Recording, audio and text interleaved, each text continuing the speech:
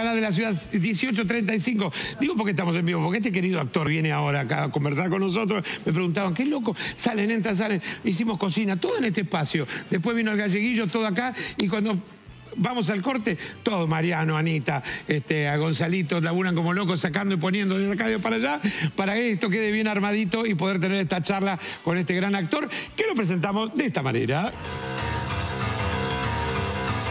Es actor de cine, teatro, televisión y publicidad. Antes de la actuación se dedicó al básquet y a la gastronomía. Mirá qué bien. Se considera un hombre reservado, fanático de las ollas de barro. Mirá qué bueno, y colecciona cuchillos, me da miedo. Protagonizó series icónicas como Luis Miguel, Nair y Cris Miró. Señoras y señores, con nosotros el señor César Bordón. Me voy a parar para darte un abrazo. Gracias, al fin te conozco personalmente. Sí, verdad, verdad. Me decías cuando hablamos, Hablamos tantos por- años que uno se cruza en el Sí, medio y no, no había ni, siquiera una coincidimos ni nada. no, tal cual. Tal Nada, cual. en premio no, porque no me llaman nunca. Y vos sí, Eh, muy merecido, no importa. César, qué lindo tenerte acá. Bueno, gracias, un placer. A mí también me dio vértigo el vivo, te venía diciendo. Te meten el micrófono, te dice, dame la ubicación acá adentro. Pero Vamos. viste, es como el teatro, viste que el teatro es, es Sí, tal cual, y, tal y cual. es lindo también, ¿eh? Sí, claro, tiene, tiene lo suyo. me- ¿Cuánto has viajado, no, con esta profesión? El otro día vi este, la, la que mm, fragmentada, la Sí. película, y tuviste que viajar al sur, a ser el personaje de este policía Sí. también.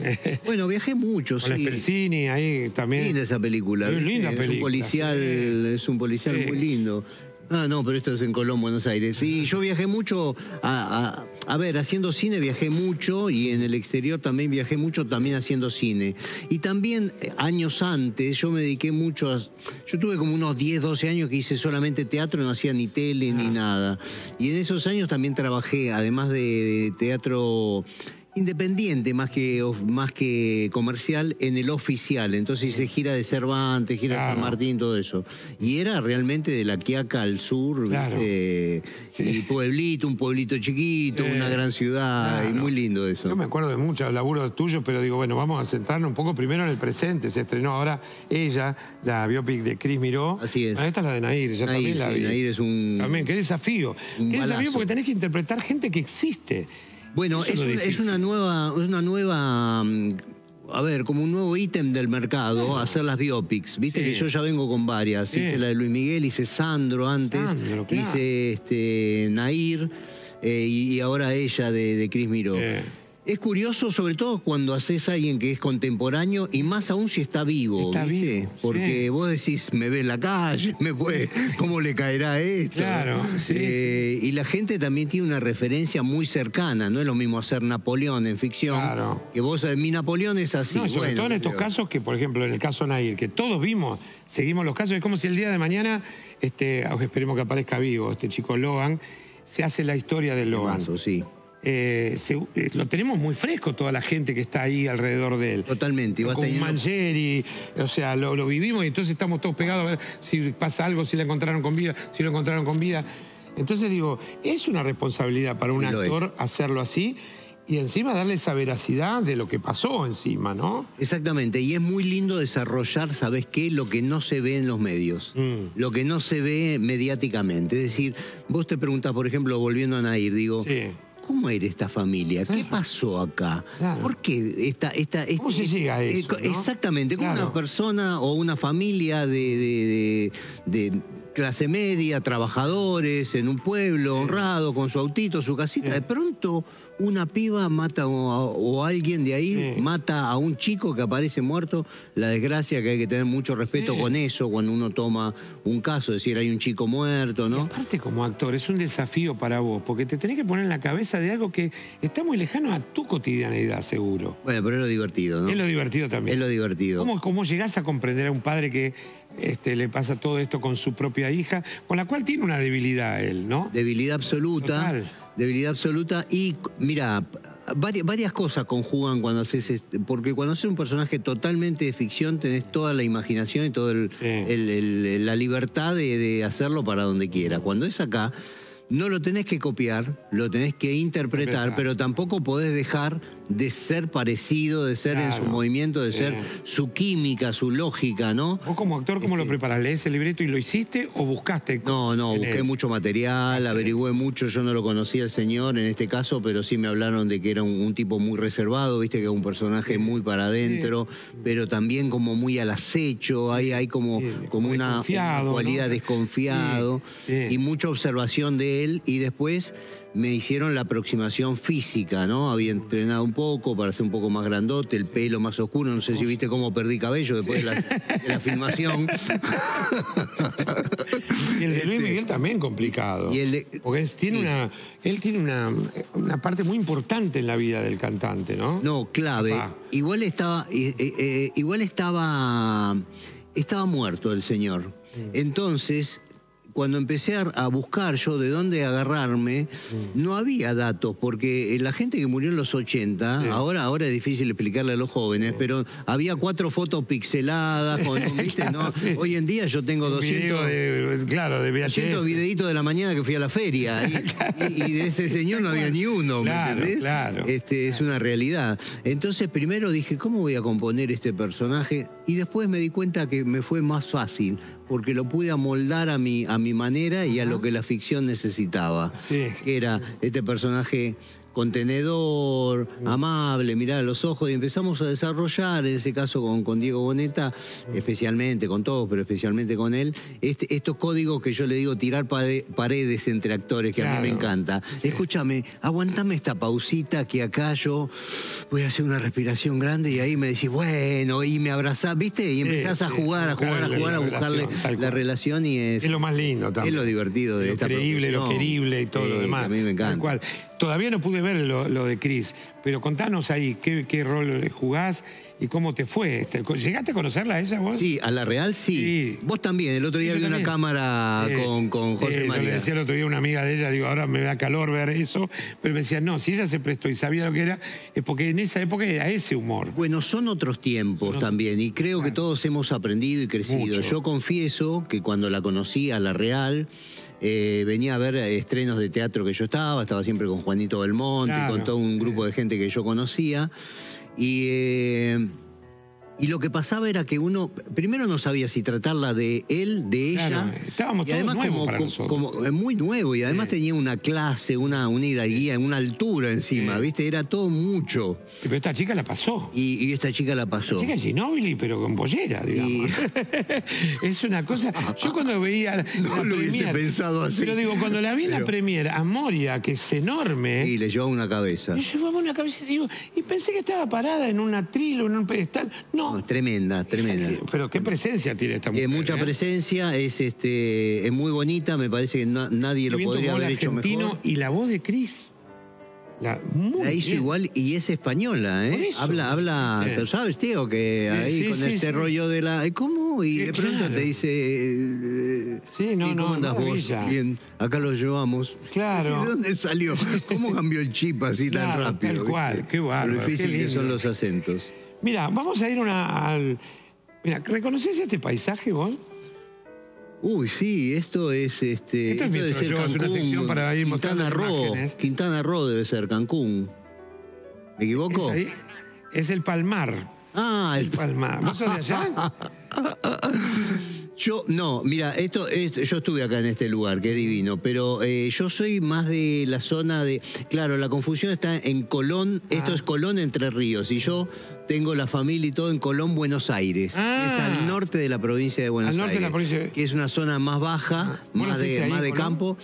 Mira, es como sí, pero no. Yo nací en, eh, nací en Buenos Aires, pero mi mamá es de Colón. Ajá. Y aún voy siempre, tengo toda la familia ahí. Ah, mirá. Y me gusta estar, hacer asado, ¿Cuánto estar en el campo. Y 300 kilómetros. Ah, no. Pergamino, Colón, y Ahí ahí, está, sí. y ahí termina la provincia de Buenos Aires y se pasa a. Santa Fe. Mm. Y este y me gustan esos placeres eh, sencillos de, tener un perro manso a tus pies y andar a y caballo. el desenchufe, ¿no? De y paso. el desenchufe, tal cual. También Ah, bueno, esto sí, viste, bueno. ¿Tu pasión es tu pasión todavía? Eh, la fue, la fue. Bueno. Yo tenía el sueño de, de ser basquetbolista, de hecho jugué, jugué a un buen nivel, jugué un año en River, dos años Mirá. en Obras. Este, después me empecé a bajar. de básquet, Sí, muy bien. En Sí. juveniles tuve como un pico así de, de mi mejor este, juego. Y después, bueno, no soy lo alto que hoy requiere el básquetbol y tampoco. Claro, sí o sí tiene que ser. Pero según el puesto también, ¿no? No, pero cualquier jugador, digamos, el, el- el llevador mide, cualquiera que ve mide unos 93, ¿viste? Pensando, ¿Sabés que me acuerdo que para mí fue un fanático? Yo era de, eh, de verlo en el Deportivo y en obra lo vi. ¿Te acordás del Tola Cadillac? Claro, un No jugador. era tan alto el Tola, ¿no? No, bueno, pero también Lo que pasa que al lado de época, los también otra también. época, ¿eh? Era También- otra época. también otra Ahora ya no época. se puede, está Ahora, claro. vos viste que hasta los futbolistas son pibes de un... Antes eran, eran todos retacones, enanotes, ¿viste? Y ahora son pibes atléticos de un metro ochenta y nueve. Y vos decís. ¿qué ¿Viste los jugadores de la Argentina también? ¿Viste? Son atléticos. Sí, son atletas. Antes eran como unos atorrantes que andaban como ¿Y no corbata. agarrar cada tanto una bola y tirar? No, mira, a ver, yo siempre jugué después de que dejé, Mm. este, empaté ahí con la actuación y después este, con los años jugué unos 5 o 10 años más y después pasaron muchos años y como a los 40 y pico, 50 me invitaron unos viejos amigos de aquella época y estuve jugando unos años con ellos. Y después dejé, yo voy a River, que soy socio y, este, y fanático de ahí de Fanático River. de River, mira. Y, este, y, y voy a nadar, a hacer pilates. Y el otro día había uno jugando una pelota y dije, voy a tirar un poco. Primero que no llegaba al aro con la fuerza. Segundo, cuando volví a mi casa estaba descuartizado, me dolían hasta las pestañas. Yo dije, No, evidentemente que tengo hace que rato que no para nada. esto, claro. ¿Esta novela te trae recuerdos? Ah, sí, yo debuté de esta novela. No, ¿en Sí, El Infiel? En el infiel, el año Mirá vos. 85. Ya, María Valenzuela. Tenía que hacer un policía, me acuerdo. Este, tenía que hacer un policía y le decía a Hernán Andrés, está detenido. Era todo lo que decía, estaba nervioso como un perro. ¿Ah, sí? No me salían las palabras, no sabía qué hacer. Y encima en la televisión de los 80, ¿viste? Estaba ahí, ¿dónde voy? Yo estaba- 9, nadie, claro. nadie te da pelota. Y de pronto decía, ¡el policía! Y vos decías, yo, yo, ahí. acá, nene. A entrar y le decís, no sabés de dónde estaba la cámara, nada, ¿viste? Que vos no- Claro. No, no, era fue el el debut palo. esperado, digamos. no, para nada, para nada. Pero sí valoro que yo tenía, siempre tuve, el impulso de decir yo me meto. Claro. Yo me meto, voy por- hay, hay cosas, Mm. hay cosas que se hacen con estudio. Yo valoro muchísimo el estudio, Sí, todo, obvio, pero sí. hay otra cosa que tienen que ver con La personalidad, con la voluntad, con el empuje. La perseverancia. Mm. Vos querés hacer una mesa, la podés hacer. Aprende cómo se cortan las patas. Después tenés que lijar. ¿Y qué tengo que aprender? Nada, tenés que lijar. Exacto. Tenés que lijar y No, y lijar. la capacidad de que de hacer un montón de casting y que muchos te digan que no. Ah, sí, claro, son más los no de esta carrera que los sí. Exacto, y hasta Claro. que llega el momento, tenés que tener esa perseverancia. Uy, el esta. Acá hay una película, esta, esta El película, esta Sensor, película es un película. unos cuantos años Tiene democracia esta, de Gatti Video. Yo la tenía en mi videoclub que laburaba, mira vos. Tiene democracia acá. Era como una, una alegoría a lo que era el Tato. Exactamente. El sensor una Tato. cosa de la Tato con de una Sí. creación un poco libre, como que se eh, transcurría durante la dictadura, después tenía como un, un surmenage y aparecía en la democracia y no entendía lo que había pasado. ¿Y acá? Sí, sí, Eduardo Calcaño. No, acá hice un represor, un, un policía que estuvo muy buena. Me acuerdo que cobré una, una fama mediática porque mi personaje estaba en el tráiler. Sí. En el tráiler de la promoción de la película y la película parecía así, dos escenitas. Porque ¿sabes qué pasa? Yo he hecho, yo he hecho todo en el Claro. medio. He hecho todo. Obviamente estoy en los buenos momentos. Pero, pero me lo gané, ¿viste? Yo hacía, yo hacía, me llamaban para un bolo, iba encantado, hacía un bolo. Sí, lo Yo disfrutabas. hacía lo mejor que podía. Y eso hacía que me llamaran para el otro. Y después fueron dos capítulos, después fueron diez. ejemplo, cuando después fue- empezaste a aparecer, ayer vino Osvaldo Santoro, fue muy gracioso cuando nos contó que eh, también tenía una escena, en, no, no me acuerdo cuál era la, la primera que hizo, y se puso a toda la familia y no le dijo en qué momento iba a aparecer al cine, y cuando terminó le dijeron, no apareciste apareciste. nunca. Claro, era tan fugaz lo que hacía, Claro. y transformado encima, que no lo vieron. La verdad que ahora me arrepiento, le tendría que haber dicho, acá estoy. Eh, ahí, soy yo en el medio del ¿Te cine. pasó algo similar o no? Sí, ¿O- o bueno. ¿Te gustaba que te vieran en Colón? y- En Colón me pasaba eso, me decía, pero apenas apareciste, ¿viste? Uy, viste que uno- me pasaba, y para uno fue una- Está ilusionado. Lo que pasa es que en ese momento también era el momento que uno quería venderse, decir, mirá, estoy con Hernán Claro. Andrés, o estoy ¿Qué en te la parece? película, estoy en esos lugares. de alguna manera. Llegué de alguna manera. Con el tiempo me he acostumbrado a no decir nada. Entonces, Mm. la gente que se sorprende viéndote te disfruta más que si vos le avisás. Exactamente, porque si, vos le así no se hace tanto expectativa. ¿Viste? Y hay que mantener baja la expectativa, entonces uno tiene menos decepciones. Exactamente, qué buena. Buen razonamiento. ¿Tenemos alguna más? A ver. A, a ver. Me gusta esto, ¿eh? Me gusta este juego. Voy Olmi, Mauricio de Voy Ayun. Mira, estoy viendo de paso todo lo que había acá. Ah, esto, esto es una. esto es una obsesión que me gastan todo con esto. Con la, ¿Sí? Me gusta mucho cocinar. Ajá. Mm. Entonces, eh, en un ¿En qué momento. barrio vivís? Yo vivo en Belgrano. Belgrano. Ajá. Entonces me compré un día una olla de barro. Son fantásticas las ollas Eh, de barro. claro. Y valen dos pesos en realidad. Ahora sí, sí. Ah, no sé si valen dos pesos, pero Pero no son, no caras, sí, ¿viste? claro. Hay ollas mucho más desarrolladas. Y me resultó bárbaro. Y soy tan obsesivo que encima viajo tanto que fui a Salta, olla de barro. Fui a Jujuy, olla de barro. Fui a México, olla de barro. Ah, Fui a Colombia, olla de barro. Entonces empecé a traer y a traer y llegó un te momento que esta, esta me quedan cortas a mí. Ah, Yo ¿sí, tengo, el doble. ¿Qué cocinas? ¿Qué, es- qué te gusta cocinar ahí, por ejemplo? Todo, lo, en una olla que es así con manija, cocino calamares con tubo, No, en otra hago la polenta, en otra hago... Como hacían nuestras viejas y Hago guiso, abuelas. mucho guiso, la sopa en una que es larguita, entonces... ¿Te eh, tomás el tiempo y todo lo demás para hacerlo? sí, me encanta. Compro las cosas, las corto, así a lo chino, ¿viste? Lo Sí, voy sí, haciendo con mi- con mi cuchillo así, pongo, pongo la- los platitos, después voy mezclando y soy ¿Es un un gran hobby cocinero. para vos eh, eso? Sí, me- me- varias cosas combino ahí. Una, la paciencia. Mm. Es como hacer algo que me, me enchufa en eso. Después es un hobby, claramente. Después me gusta agasajar. y por otro lado me gusta comer sano. Entonces hago lo que yo quiero Sos buen comer. anfitrión, digamos. Eh, digamos Claro, sí. Por lo menos comen bien. Después, Claro. después los trato mal. decime. César, ¿cuándo fue que dijiste entre el básquet y la actuación? ¿Qué te, qué, ¿Por qué la actuación? ¿Cuándo, ¿Cuándo dijiste hoy tengo que hacer esto, me gusta esto? Claro, yo ya, a ver, primero que yo tenía que laburar y tenía que laburar de algo que me divirtiera, porque no, no, no, no quería trabajar de algo y padecer, ¿viste? Sí. Yo lo veía a mi abuelo, pobre viejo, que padecía todos los días laburar, y yo decía, esto no puede ser, yo tengo que pasarla bien. Y el básquet estaba bárbaro para eso. Lo que pasa que en un momento, como la carrera de cualquier deportista que no está llegando a primera, empieza a caer estrepitosamente y los viejos te dicen, ¿y, ¿Y qué hacemos? ¿Qué hacemos? no? ¿Estudiamos o laburamos? Claro. Entonces yo tenía esta, este histrión ya jugando al básquet y con los compañeros de secundaria, que hacía chiste, que era el jodón Sí. de la fiesta, que hacía los asados, todo, todo eso ya estaba como un gen. Claro. Entonces, eh, un amigo, Rubén Oviña, le dijo a otro que iba a estudiar teatro, ¿por qué no le decís a César que te va a acompañar este loco? Y este vino, en los, en los 80, no teníamos teléfono, nada, vino, tocó el timbre en mi casa, que le preguntó al otro la dirección. Dijo, yo voy a estu- a estudiar teatro con Fernando Ciro. Mirá. No, no quería ir solo, me dice, no sé si me acompaña, dale, te acompaño. Fuiste de acompañante. Y fui, me, me, Te maravilló. Me maravilló. Qué loco es. No dejé ¿Cómo nunca más. veces, Me eh? tardó años igual en laburar, en vivir de la profesión. ¿eh? Y por ejemplo, dijiste, cuando tu viejo dijo, viste que dicen, che, lo largo el básquet porque voy a hacer otra cosa, y volviste con la actuación, no hizo. Sí, Yo claro. pensé que iba a decir odontólogo, lo que. No. No, sí, no, para viejo ¿Apoyaron? fue, fue la- No, que van a apoyar. fue una desgracia.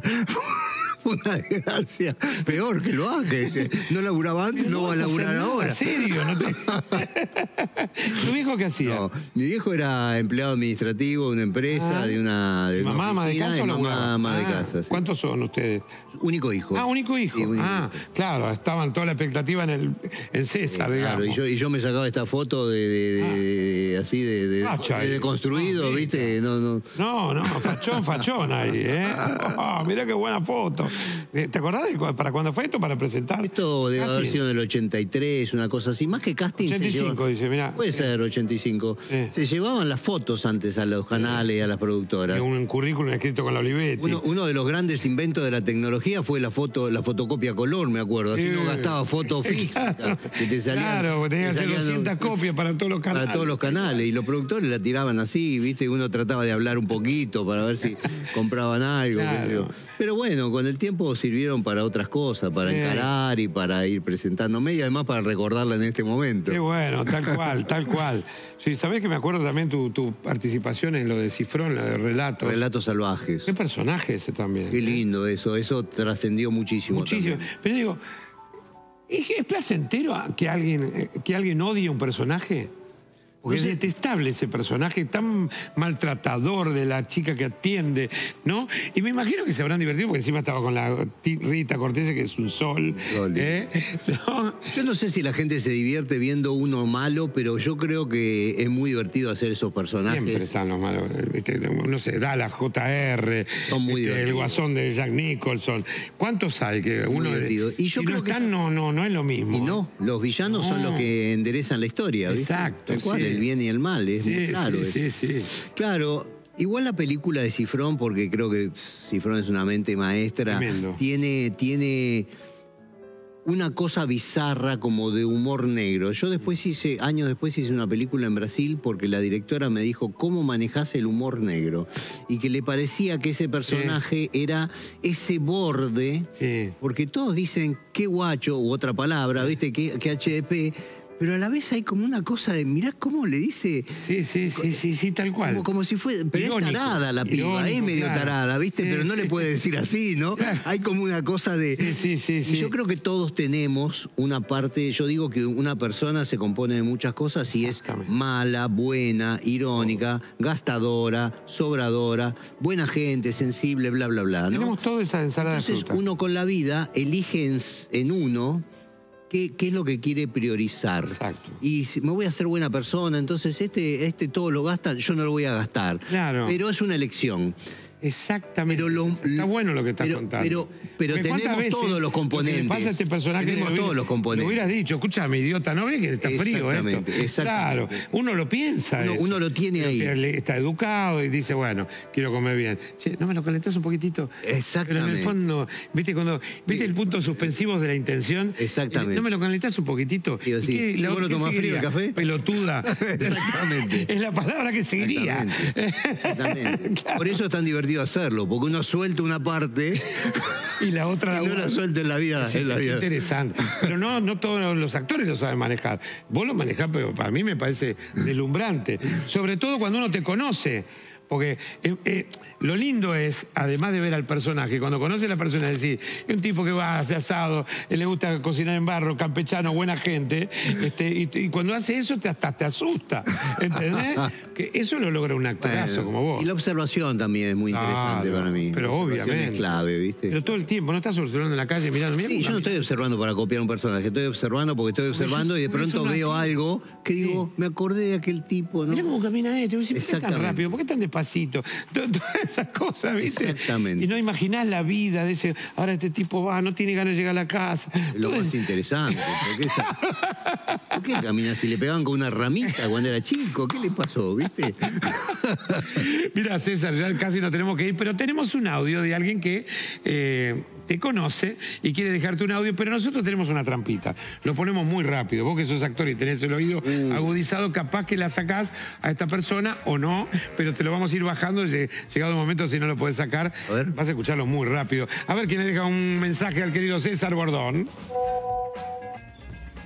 Mi querido César, qué gusto saludarte.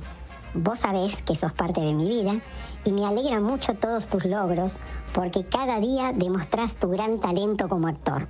Si bien me gusta cuando haces de malo, lo que más, pero lo que más me gustó fue tu interpretación en la serie de Luis Miguel. Lucía Miranda. ¡Eh, papá! ¡Qué bien así de una! ¿Por qué? Porque el léxico que utiliza Ajá. es este. De lo que es la observación, Es, ¿ves? es coloquial y tiene una, una forma de Una conjugar las palabras, claro. una cadencia. Sí. Y además Luis Miguel me, me dio, me dio eso. más pistas. Vamos a escuchar a Lucía Miranda en su este, velocidad normal para que pueda disfrutar del mensaje que le dejó a César. Mi querido César, qué gusto saludarte. Vos sabés que sos parte de mi vida y me alegra mucho todos tus logros porque cada día demostrás tu gran talento como actor. Si bien me gusta cuando haces de malo, lo que más, pero lo que más me gustó fue tu interpretación en la serie de Luis Miguel. Qué linda. Vos sabés que a- hablando o volviendo un poco a lo que decía de, de- de hacer personajes vivos, Mm. yo la conocía a, a Lucía después de hacer la, tem- la primera temporada de. Luis Miguel y decía, qué fuerte para esta mujer ver... eh, ver eh, Claro, dijo, para mí eras mi marido, haces las cosas igual que él. Y yo no, no lo tenía al tanto, digamos. Claro. Ha habido ahí una conjugación y decía, fuerte también verlo. Qué Después lindo viste- que ella te diga eso. Sí, claro, ¿Qué fue, un gran halago, fue un gran halago. César, gracias por venir. ¿Estás haciendo teatro ahora o no? No, no, ahora no, ahora no. Ahora disfrutando de la serie que estás disfrutando la- haciendo. los lanzamientos de... de Cocinando varias- la olla de barro. un Cocinando la olla de barro. Gracias por venir, un placer guiso un enorme. día. Te invito un guiso. Oh, sería un placer. Me queda cerca Belgrano, así que acepto la invitación. Gracias, César Bordón. Un Gracias placer por invitarme, un conocerte también en acá con nosotros. Nosotros nos encontramos mañana.